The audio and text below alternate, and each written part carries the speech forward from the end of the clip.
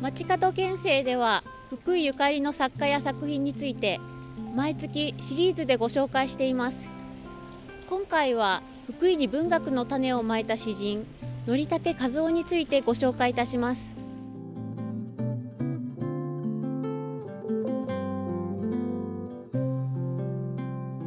のりたけ和夫は1909年鳥取県米子市に生まれました。19歳で朝鮮に渡り総督府で雑誌の編集などを務め文学活動も実施。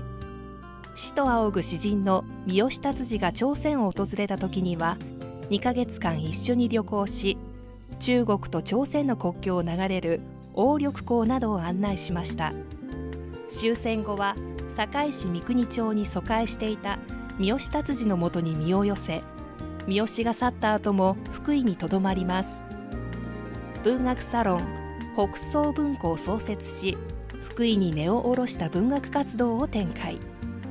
81歳で亡くなるまで闘病中にも詩を書き続けました。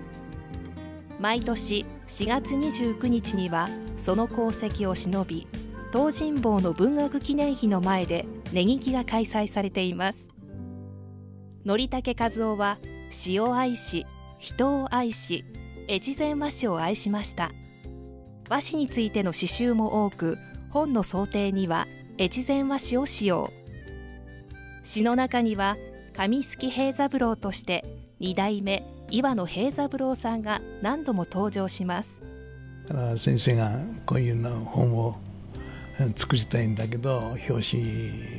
に入れてくれんとかいろんな紙をすいて先生におはぎしてた。もうともかく紙はお好きなんで工場入ってご覧になったり、まあ、ご要望がいろいろあったように思ってます。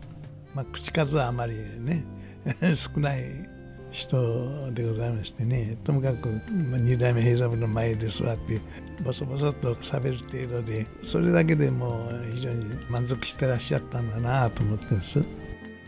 のりたけ和夫はここ福井の地で地方主義を唱え詩人の育成に努めましたのりたけのもとには多くの文学青年が集まりのりたけ学校と呼ばれ広部栄一岡崎淳荒川洋二などの詩人が育っていきました。人をよく引きつけるようなそういう方でしたね。